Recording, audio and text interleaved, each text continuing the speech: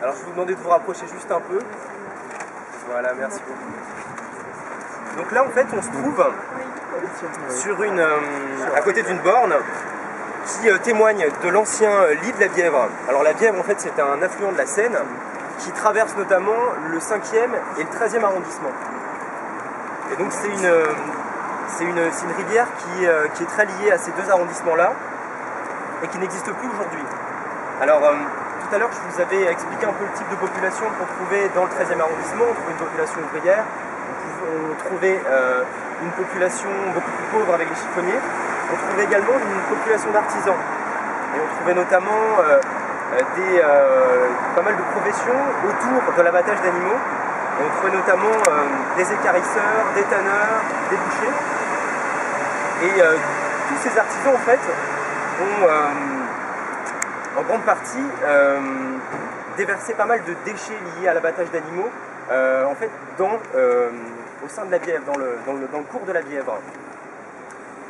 En fait, et ce phénomène-là reproduit sur, sur des dizaines d'années, a entraîné en fait la perte de la rivière.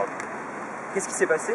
Il faut savoir que la Bièvre était une rivière avec un, très faible débit. Je vais vous montrer d'ailleurs des photos pour illustrer un peu ça et que l'eau avait donc tendance à stagner. Et donc à l'époque, qu'est-ce qui s'est passé? C'est que là, euh, la Bièvre en fait entraînait. Donc là en fait, vous avez euh, une tannerie. Donc au, euh, on est au début du XXe siècle. Et on peut voir la Bièvre au milieu. Alors cette photo sera peut-être un peu plus claire. Et on peut voir en fait l'état de la Bièvre euh, sur cette photo. C'est une, rivière justement avec un très faible débit, l'eau a tendance à stagner. Et donc à l'époque ça a généré euh, beaucoup d'épidémies, notamment des épidémies de choléra. Et donc pour des raisons de salubrité, la rivière a été enfouie dans les années 1910. Et donc aujourd'hui on ne peut plus bien sûr la retrouver à l'air libre.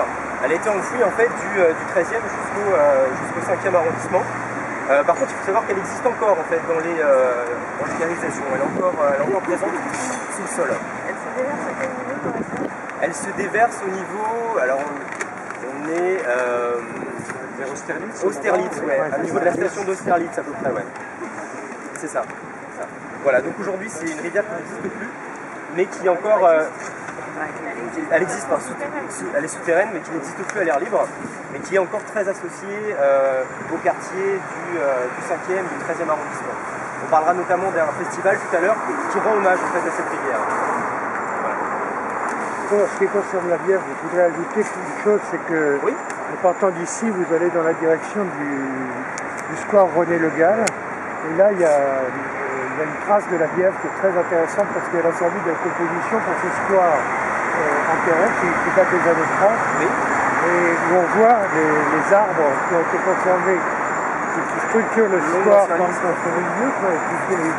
la, la, trace de la Bièvre, la Bièvre c'est vraiment l'axe du, du, square René Le Gall euh, qui se passe bizarre là.